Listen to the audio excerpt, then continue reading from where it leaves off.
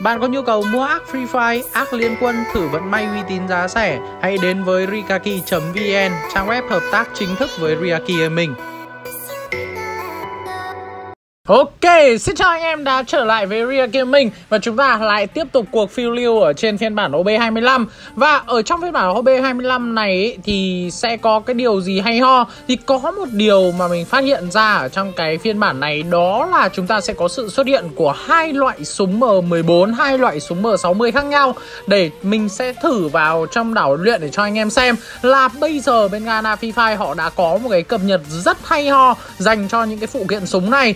Thì thì uh, cái này thì không biết là nó sẽ áp dụng như nào nhưng hiện tại trong mô trường tập bắn thì ở trong cái phần uh, những cái đồ phụ kiện ấy thì nó hoàn toàn loại bỏ tất cả những cái ví dụ như ống ngắm sinh học hay là những cái biến áp ra. Và bây giờ chúng ta sẽ có một loạt súng mới là MP5X, M60i, VNSX, M14i và tất cả những cái súng này thì đều sẽ gắn sẵn cho mình đó là cái phụ kiện. Như vậy thì bên Ghana Free Fire họ sẽ chia hai cái này ra thành hai loại súng khác nhau. Ví dụ như K98 thường thì sẽ không có cái phần để lắp phụ kiện này. Trong khi K98Z thì nó sẽ có sẵn cái phụ kiện này gắn luôn và nó sẽ là hai loại súng khác nhau luôn nha anh em nhá. Nó sẽ là hai loại súng khác nhau thì cái này nó để tránh những cái việc là gì? Đó là có nhiều những cái chiến thuật, đó là nhặt những cái à, phụ kiện này nhưng không dùng và sau đó thì vứt đi, khiến cho địch thủ không thể sử dụng được những cái à, tính năng này. Thì đấy là một trong những chiến thuật trong giải đấu, nhưng có vẻ như bên Nga nào muốn loại bỏ đi chiến thuật này để cho trận đấu nó hấp dẫn hơn. Và chính vì vậy chúng ta sẽ có một loạt những cái súng mới như là Plasma E hay là M60i và cái đây đây anh em có thể nhìn thấy, đây là khẩu VRS và có gắn sẵn đạn. Và nếu mà chúng ta thích thì chúng ta có thể, chúng ta có thể đổi sang cái loại mà nó không có gắn sẵn đạn và nó sẽ không thể gắn được phụ kiện. Tức là bây giờ những cái loại mà súng thường nhá nó loại súng thường thì sẽ không thể gắn phụ kiện. Các bạn sẽ thấy là có MP5X và MP5 này. Đấy, đây là MP5X và MP5 mình sẽ mua cả hai khẩu, sau đó thì mình sẽ so sánh cho anh em xem. Ở đây là mình mua cả hai khẩu MP5X rồi và mình mua nhầm. À, nước đi vừa rồi à, đi à, hơi nhầm à, cho xin phép phải đi lại. Và vâng, đây tôi mua một khẩu MP5 thường. Thì các bạn sẽ thấy là khẩu MP5 thường nó sẽ không có cho mình cái phần lắp được cái biến áp cái tăng áp và bây giờ thì sẽ tách ra thành hai loại. Đó là MP5 và MP5X à, thì nó sẽ khác nhau. Đấy và tương tự như vậy đối với các loại súng khác.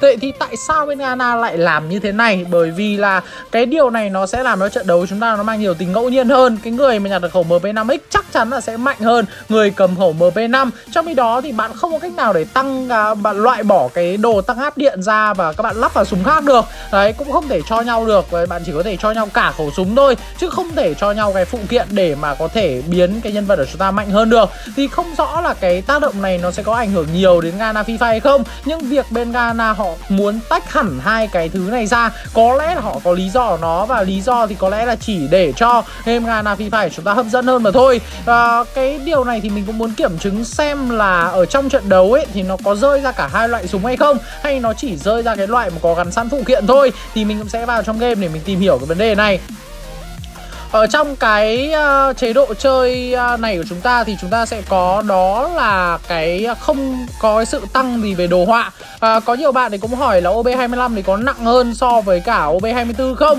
Thì mình khẳng định với anh em là OB25 thì không nặng hơn OB24 nhá. À, mọi thứ là hoàn toàn là như cũ. Tức là phiên bản OB24 thì anh em chơi trên thiết bị nào thì OB25 anh em chơi y hệt trên thiết bị đấy và không gặp vấn đề vấn đề gì uh, phức tạp cả. Đó bây giờ thì mình sẽ đi tìm xem là chúng ta có thể tìm được một với khẩu súng à, ở dạng bình thường và một khẩu súng ở dạng nâng cấp hay không? À, ở trong cái phiên bản này thì cái đảo quân sự này nó vẫn còn một số những cái lỗi và ví dụ như các bạn nhìn thấy là nhân vật của mình cứ đi đến đâu ấy thì nó sẽ có một cái bóng dâm ở trên đầu nó hiện ra thì cái này là cái đổ bóng của nhân vật. Nhưng mà cái này thì có lẽ là cái phiên bản này nó vẫn hơi bị lỗi nên các bạn sẽ vẫn thấy là có một cái bóng dâm nó đi theo mình. Đấy ở phía trên đầu à, cái à, bản đảo quân sự này thì mình có chạy qua chạy lại một vài lượt thì mình thấy là nó đã khá hoàn thiện rồi. Tất cả những thao tác mà nhảy qua cửa sổ đều khá là ok đây là khẩu uh, đây chúng ta có rất nhiều khẩu vector. Có vẻ phiên bản này bên nga nào để rất nhiều khẩu vector vào. Trong khi đó thì mình vẫn chưa tìm được bất kỳ một khẩu nào mà theo dạng gọi là súng bình thường mà có tăng gọi là cái uh, đồ phụ kiện cả.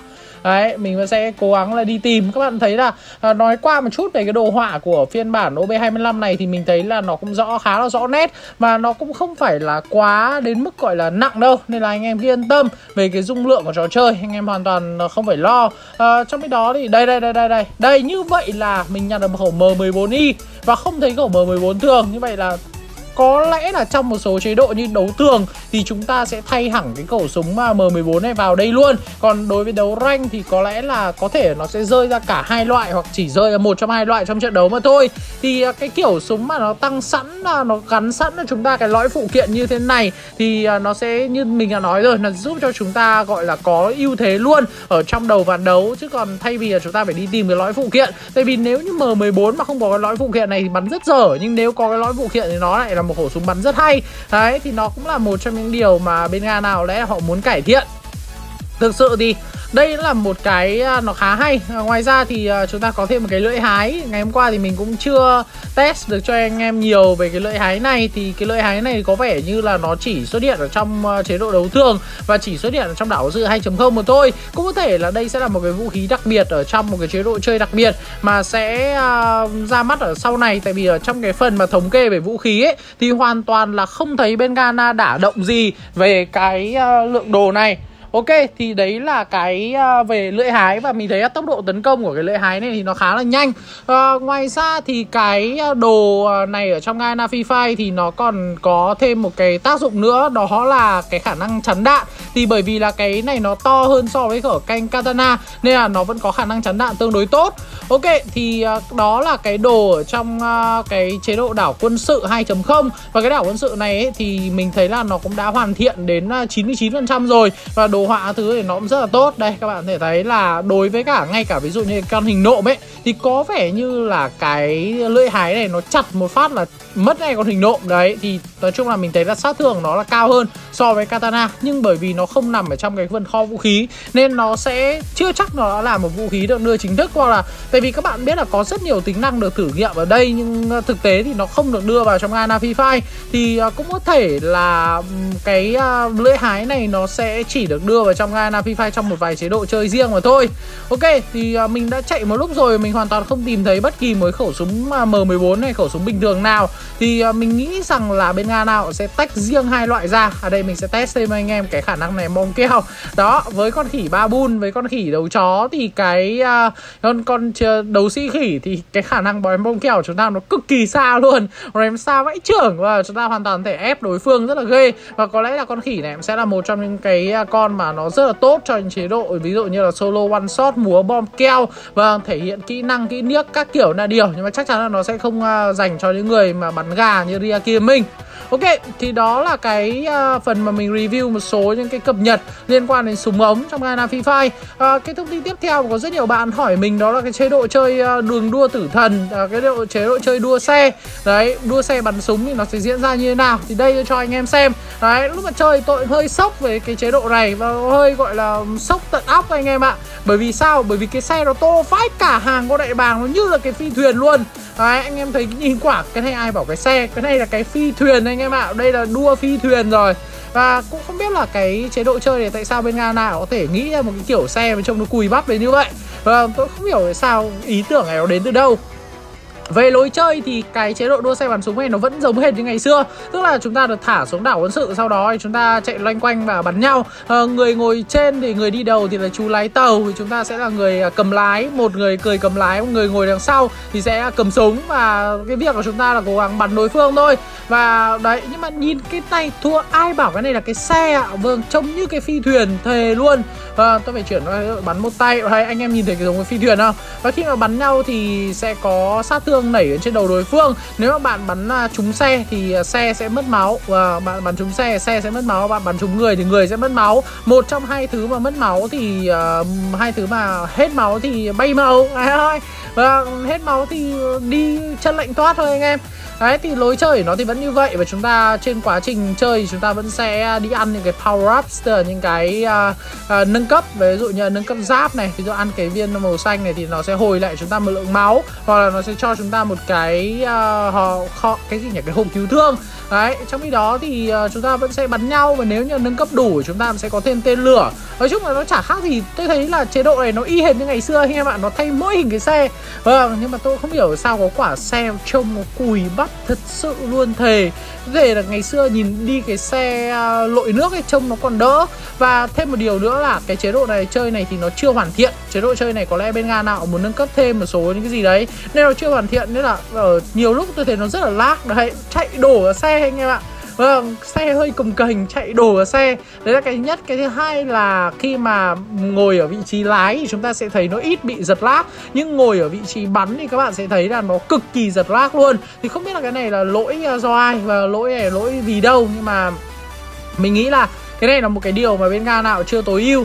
Bắn thì à, đầu tiên thì ở level 1 chúng ta sẽ cầm khẩu SK với không có à, cái hiệu ứng hay là cái gì cả rồi à, chúng ta nâng cấp dần lên thì à, cái súng tiếp theo của chúng ta nó sẽ là M249 ấy, chúng ta sấy nó phê hơn. Đấy các bạn có thể nhìn thấy là có một cái hình giống như hình xương cá cái mũi tên nó chỉ lên ấy. Thì nó chính là hình à, nó, nó là hình gọi là cái uh, Ờ, nâng cấp xe. Và khi mà chúng ta nâng cấp xe thì xe của chúng ta nó sẽ có thêm giáp nó sẽ có thêm giáp ở đầu rồi giáp ở bên cạnh rồi ờ, giáp bên hông rồi giáp đằng sau uh, mông xe. Đấy thì về cơ bản là cái chế độ chơi như vậy.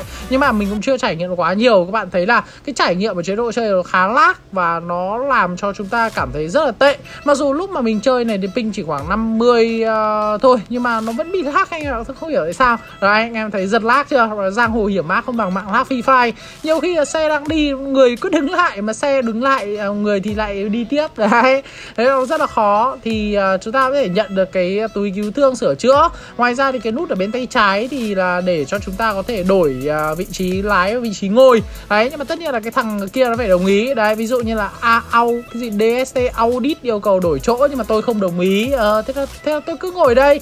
Còn thanh niên này thì cứ phải lái thôi. Thì cái này nó cũng sẽ cái này chỉ nên chơi với bạn bè và nó không khác gì cái phiên bản cũ cả.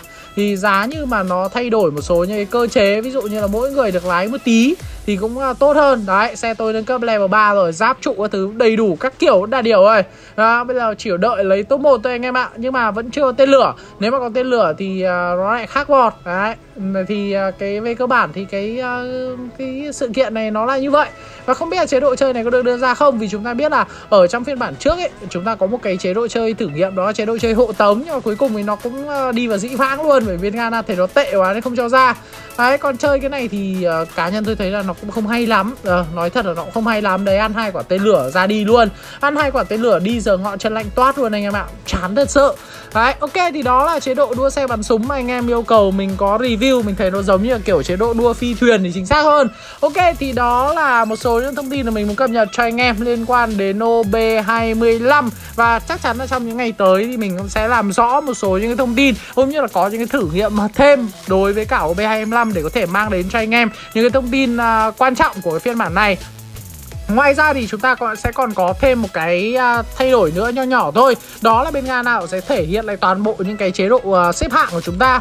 Đấy, thì ví dụ như cái áo à, vàng xếp hạng mùa 18 này thì chúng ta sẽ có thể nhìn thấy ở đây. Đấy, nhìn thấy con Cabela uốn éo các kiểu là điều Đấy, thì tất cả những cái thông tin về xếp hạng sẽ được trình chiếu ở xuyên suốt ở trong cái video này Ở trong cái cái mục này. Chúng ta sẽ biết là từ hạng thấp nhất, cùi bắp nhất là hạng bạc cho hạng đồng cho đến hạng thách đấu. Chúng ta sẽ có những phần thưởng gì. Tương tự như vậy là bên à, tử chiến thì nó cũng sẽ có thông tin như thế. Thì nói chung là có cái này thì người ta mọi người nhìn vào cái chế độ xếp hạng sẽ dễ hiểu hơn và nó cũng sẽ đỡ hơn. Còn hiện tại ở trong à, chúng ta hiện tại trong phiên bản hiện tại thì nó sẽ nằm ở trong cái phần uh, phần chơi thì ít ai bấm vào cái đấy thì bây giờ bên nga đã cho ra ngoài luôn. Ok và đó là thông tin được mình mang đến cho anh em tối nay. Và nếu như đây là lần đầu tiên anh em đến với kênh của Ria Gaming đừng quên để lại mình một like và subscribe nhé. còn bây giờ xin chào và hẹn gặp lại anh em trong những video lần sau. Bye bye!